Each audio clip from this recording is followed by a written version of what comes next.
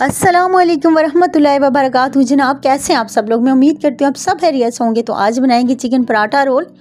उसके लिए यहाँ पर जनाब मैंने लिए चिकन 400 ग्राम। इसमें डालेंगे सबसे पहले एक टीस्पून हल्दी, एक टीस्पून लाल मिर्च पाउडर एक टीस्पून ज़ीरा पाउडर एक टीस्पून धनिया पाउडर एक टीस्पून गरम मसाला, एक टीस्पून नमक, एक टेबल स्पून जनाब लेमन जूस और एक टेबल स्पून इसके अंदर गया अदरक और लहसुन का पेस्ट खूब अच्छी तरह मिक्स कर लेना जितनी आपके अंदर जान है। तो साथ साथ मेरे चैनल को भी प्लीज़ सब्सक्राइब कर दें वीडियो को भी लाइक कर देना, आपकी मेहरबानी। दो टेबल स्पून जो है ना जनाब दही डालना भूल गई थी तो वो मैंने इस टाइम पे डाल दिया। अब इसको भी मैं इसके साथ अच्छा सा मिक्स कर दूँगी। आजकल मेरे किचन के काफ़ी सारे काम हो रहे हैं ना तो मुझे भूल जाता है। 400 ग्राम मैदा लिया, एक टेबल स्पून इसके अंदर डाली चीनी, एक टीस्पून नमक और दो टेबल स्पून इसके अंदर डाला है जनाब ऑयल साथ में थोड़ा सा जो है ना नीम गर्म पानी डाल के इसे गूंद के रख दिया, इसको सॉफ्ट सा गूंदा, जैसे हम आटा गूंदते हैं। चार तीन टेबल स्पून यहाँ पर डाला ऑयल उसके अंदर डाल मैरिनेट चिकन और इसको मिक्स करके रख दूँगी पकने के लिए। तो जितनी देर में ये पकेगा ना तो मैं थोड़े से किचन के बाकी के काम कर लूँगी। और यहाँ पर मैंने लिए जनाब दही तकरीबन तीन टेबल स्पून ठीक है? इसका पानी मैंने निकाल लिया था छलने में रख के।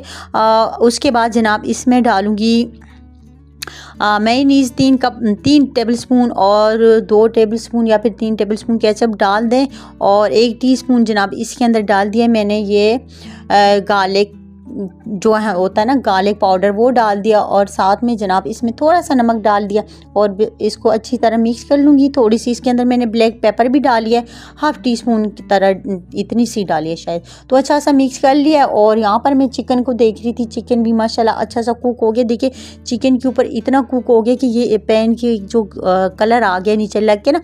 ग्रिल वाला जो कलर होता है वो आ गया। तो दोबारा से मैंने उसको निकाला इसमें दो टेबल स्पून ऑयल डाला यहाँ पर एक बड़ी प्याज और एक शिमला मिर्च।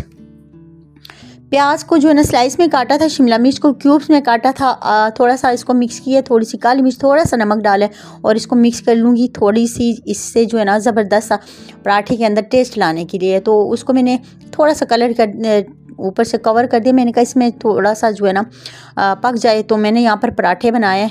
जो पेड़े बनाए थे, उनके पराठे बना रही हूँ, रोटी बनाई है ऑयल लगाया इसके ऊपर जनाब कर लूँगी मैदा डस्ट मैदा डस्ट करके तो इसको फोल्ड करके इसका पेड़ा बना लूँगी। आपने भी बनाया होगा, आप बहुत माशाल्लाह समझदार हैं। वीडियो देखते हैं तो मेरी नहीं, बहुत सारी वीडियो देखते हैं, आप बनाते हैं तो आपको पता है। तो इस तरह से देखिए मैंने इसका पेड़ा बनाया है। और इस तरह से लास्ट वाला भी फोल्ड कर दिया। अब इसको थोड़ा सा खींच के तो बस इसका मैं जो है ना फोल्डिंग वाला पेड़ा बना लूँगी। बड़ा ज़बरदस्त सा पेड़ा बनेगा इसका और लच्छे वाला पराठा बनेगा। बहुत ही मज़ेदार सा पराठा बनेगा। आप इसको वैसे भी बना के चाय के साथ खाएँ, किसी और सालन के साथ खाएँ, आपको बड़ा ही ज़बरदस्त लगेगा। तो इस तरह से फोल्ड करना है। लास्ट में जो इसकी ये नोक खुल रही है ना, ये देखें। इसको घुमा के इसके ऊपर इस तरह से रखें और प्रेस कर लें आपका पेड़ा तैयार है। बाकी के पेड़े भी मैं इसी तरह से बना लूँगी सारे। टोटल इसके पाँच पेड़े बने जनाब और ये देखें, एक पेड़ा उठाया, थोड़ी देर इसको रेस्ट दिया था और इसको हाथ से प्रेस किया, बेल दिया और तवे पे डाल दिया। तवे पे डाल के हल्का सा इसको घुमाना है, दोनों साइडों से हल्का सा सेक लेना है, फिर उसके बाद घी लगाएँ ऑयल लगाएँ, आपकी मर्ज़ी है। दोबारा से हल्का सा घुमा फिरा के ये देखें कितना ज़बरदस्त सा कलर आया और लच्छे इसके खुल रहे हैं, मैंने इसको उतार दिया।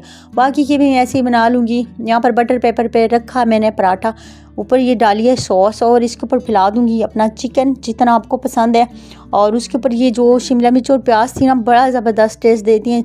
ये नमक और काली मिर्च के साथ ये डाल दिए, ऊपर फिर सॉस डाल दें और पराठे को जनाब फोल्ड कर लें। आपके मुँह में पानी आ रहा होगा, वैसे इसको खाएँगे तो आपको मज़ा आ जाएगा। इस तरह से इसको मैंने फ़ोल्ड कर लिया था और बच्चे मेरा इंतज़ार कर रहे थे कब ममा पराठे बनाएँगे और हम खाएँगे।